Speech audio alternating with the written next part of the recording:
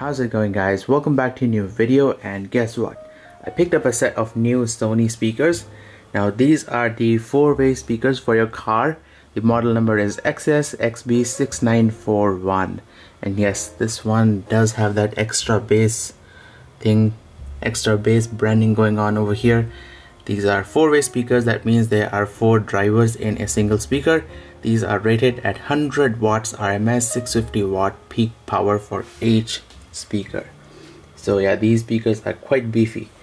Now it's a four-way speaker. That means it's got a woofer which is down here. It's got a mid-range speaker here. It's got a tweeter and it's got an extra super tweeter right here. And you know guys I absolutely love this front thingy uh, whatever is going on here.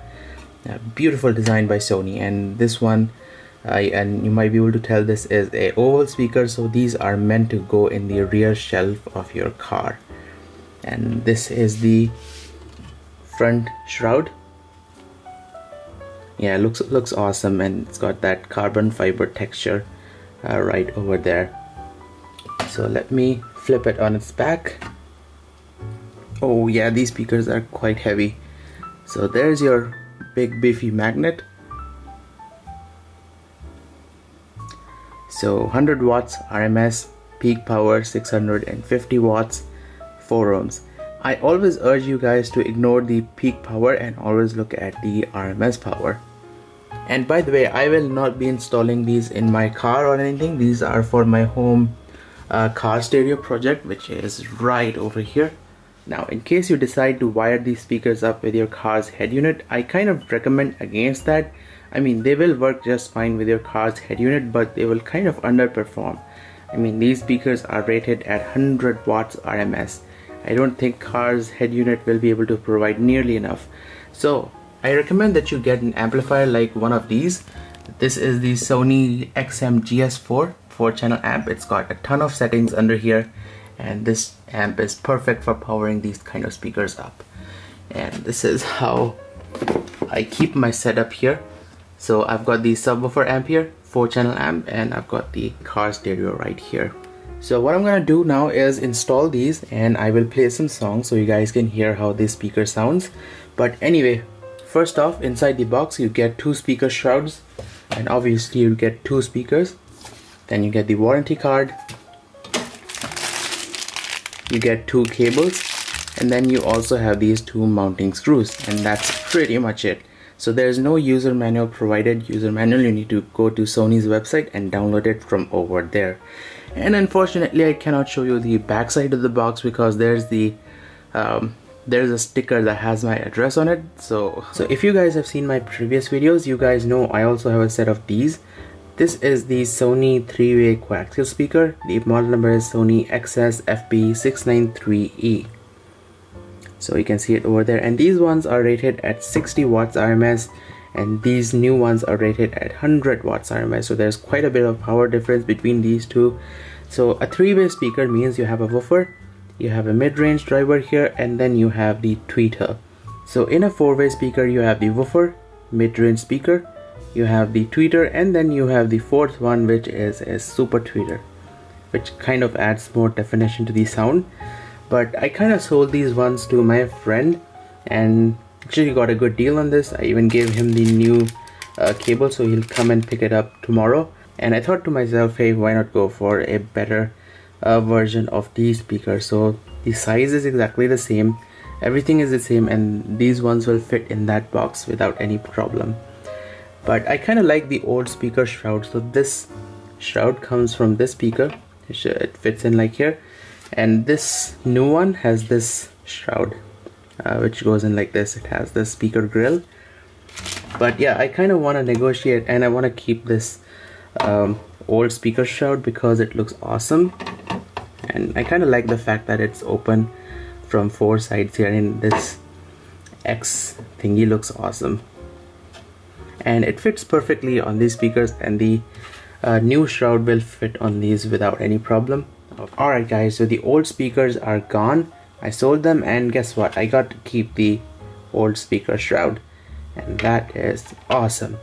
So let's go ahead and install the speakers in the box and we'll do a sound test. So I will be installing the speaker in this box. I bought this box off Amazon. If you want one of these, all the links are down in the video description. And it's quite a nice compact little box. It's even got the speaker terminals. By the way, these speaker terminals were leaking air. So I put some sealant in the inside of the box, stuffed the, stuffed the box up with polyfill and now it's time to install the speaker. And the reason why I chose these particular box is because I want to put the speaker there. And this box fits perfectly in the shelf which I will show you in just a moment. But for now let's go ahead and install this speaker in the box. And to screw the speaker in I will be using this my electric screwdriver. And if you want this link is down in the video description and electric screwdriver makes the job a lot easier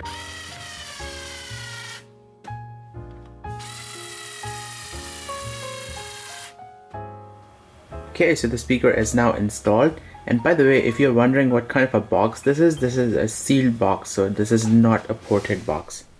Alright guys, got the speakers installed in my shelf and I do admit they kind of look nice.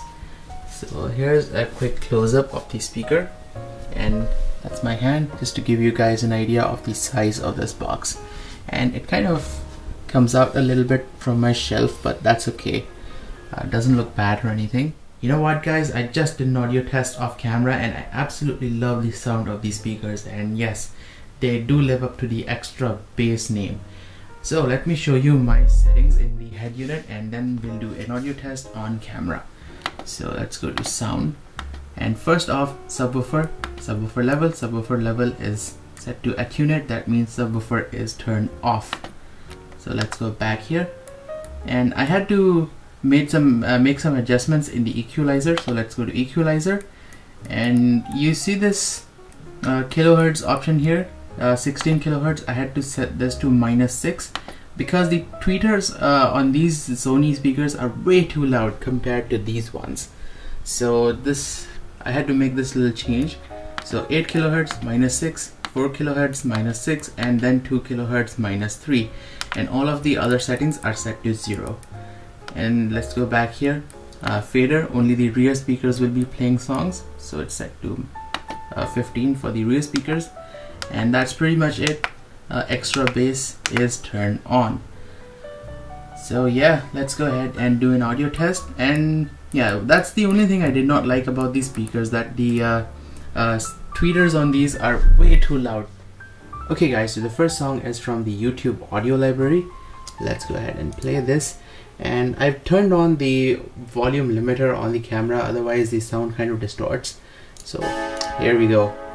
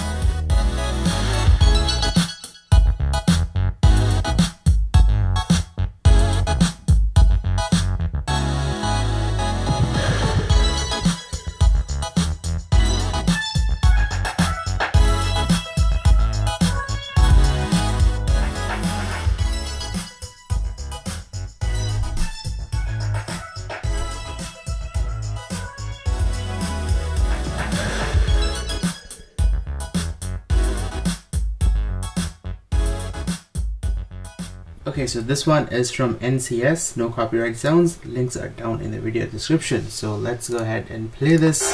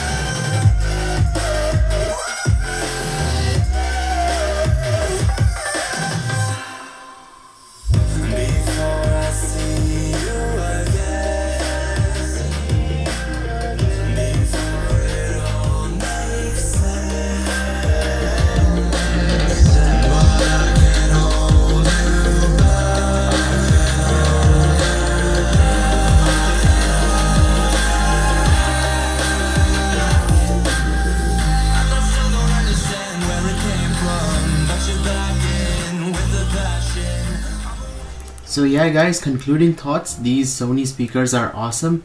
I mean, the bass on these speakers are so good that I don't even need to turn the subwoofer on on most of the times. So yeah, I think these speakers are complete winners. So there's a thumbs up from my side for these Sony extra bass speakers. Alright guys, so thank you for watching this video. I hope this video was helpful in deciding what speakers you want for your car. And these speakers go into the rear shelf of your car if you're wondering. But yeah, I'm gonna keep it in my shelf like this because I want to listen to some songs in my home using the car audio system that I built. So yeah, I'm absolutely loving this setup here. And yes guys, today is the last day of 2018, so it is December 31st, 2018. And I want to take this opportunity to thank each and every one of you. Thank you for the continued love and support. Thank you for everything guys. I mean, seriously, without you guys, all this cool stuff would not have been possible. So a big shout out from the bottom of my heart to all you guys. Thank you for everything. Thank you for the support and thank you for subscribing to my channel and watching my videos. So guys, uh, that's it. I think this is the last video for 2018. Thank you for watching and stay tuned for more videos like these and I will see you guys next year.